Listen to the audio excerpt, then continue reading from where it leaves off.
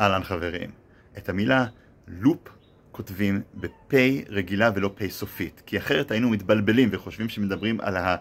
על המאכל, על הירק, לוף.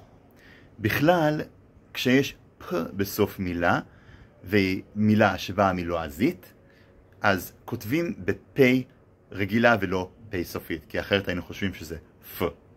טוב, זהו חברים, להתראות.